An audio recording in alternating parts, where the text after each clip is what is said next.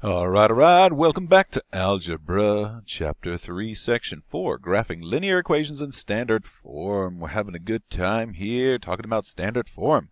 Standard form is the form a x plus b y, there we go, beautiful y, by equals c, where a B and C are constants. So real numbers. Okay, so for example, I could have 2x plus 3y is equal to 12. How about that? Okay, now if x, for example, was 0, if I plug 0 in for x, plus 3y equals 12, then I would get 3y equals 12. I could divide by 3 on each side, and I'd get y is equal to 4. Okay. If y is 0, on the other hand, I could solve and get x. So I could get 2x plus 3 times 0 is equal to 12. So 2x is equal to 12. Divide by 2. x is equal to 6. So if I make the other one 0, I can write it as x is 6 or y equals 4. When the other coordinate is 0, then I'm left and I can solve for that one coordinate. Okay, now what do those look like?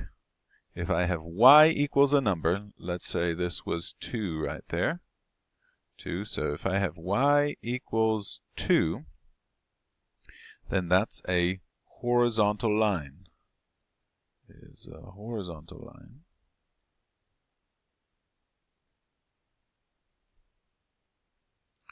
Okay, because no matter what x is, if x is 1 or if x is 2, y is always 2. And then on the other hand, if I have x equals a number, for example, x equals 1, okay, there's 1, there's 2.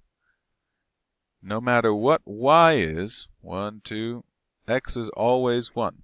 When y is 1, x is 1. When y is 2, x is 2 because x equals 2.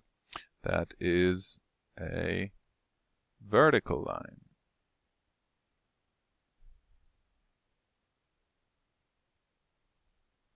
All right, notice that that point where it crosses the x-axis has a y-coordinate of 0. So really, we just need the x-coordinate for that point. Here, the y-coordinate is b and the x-coordinate is 0 because x is 0 right there. So, let's look at graphing these, graphing a horizontal and a vertical line. Okay, graph y equals 4.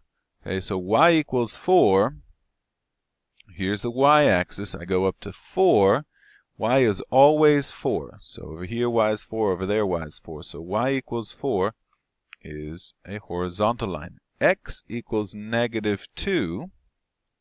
So on the x-axis, we go to negative 2. Okay, and x is always negative 2. Now note that this is not a function. Right? x equals negative 2 is not a function because it doesn't pass the vertical line test. Right? But y equals 4, that is a function. Alright, using intercepts to graph equations. So where it crosses the y-axis, that's the y-intercept this point right here where x is 0 and then the y value is b. So the y-intercept is b. Remember we learned this? Y-intercept is a b. Yo, check this. Where the graph crosses the y-axis to determine y, just make x 0. That's one step to being a function hero. So, if x is 0, if we make x 0, we get the y-intercept. That's where it crosses the y-axis. On the flip side, right, the x-intercept is where it crosses the x-axis. we make y 0 to get the x-intercept. Alright, so we want to use those intercepts to graph a linear equation. Right? So I want to find the intercepts of this. So to find the y-intercept, to determine y, just make x 0. That's one step to be in a function here. So we'll make x 0. And then we can find the y-intercept. So that's 4y is equal to 12 divided by 4. And we get y is equal to 3. Okay, so the y-intercept, y value when x is 0 is 3. So b equals 3. And then the x-intercept, we make y 0. If I make this 0, I'm going to get 3x is equal to 12. Divide by 3 on each side. x is equal to 4. So go out on the x-axis to 4. There's my point. I only need two points to graph a straight line. Lines are always straight, so two points to graph any line. And there we go. So I've graphed that using the x and y intercepts. All right. You're planning an awards banquet for your school. You need to rent tables to seat 180 people. Important information, you need to seat 180 people. Tables come in two sizes. Small tables seat 6 people. Large tables seat 10 people. The equation 6x plus 10y equals 180 models this situation where x is the number of small tables, x is small tables, y is the large tables. Graph the equation, interpret the y, the intercepts. Okay, so let's start by finding the intercepts. That means make the other one 0. So if I make the other one 0, it's going to drop away. Right? If I make this 0, then I get 10y equals 180. Divide by 10, y equals 18. If I drop off the 10y by making that 0, I get 6x is equal to 180. Divide by 6 on each side, and x is equal to 30. So the y-intercept is 18, so x is 0, y is 18. We're going by 2's here, so 16, 18, that's right here. And then the x-intercept is 30, so 28, 30 right there. Now I'll use those to make a graph. This has to be as exact as possible if we're going to use the graph to make our estimations. Okay, and there we go. Right about there.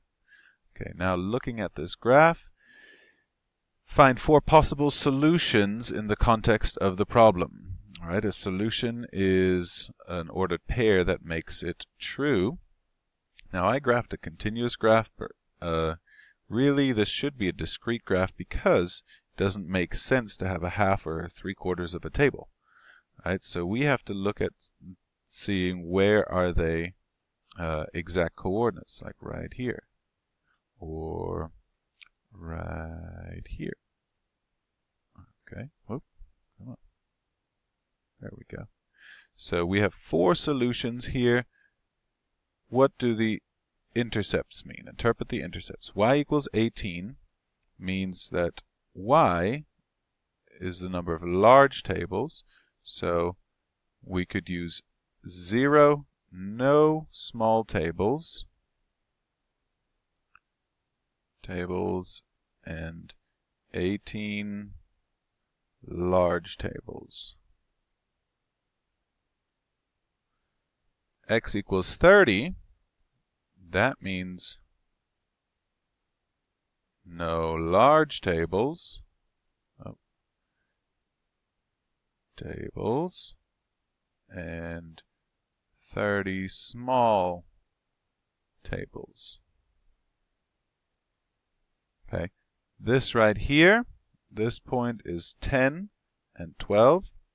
That's 12 small and 10 large tables. This point here is 20 and 10. That would be, no, sorry, this is 6. 6 small tables and 20 large tables. That's what these different points mean. Alright, and there you have it. Graphing linear equations in standard form.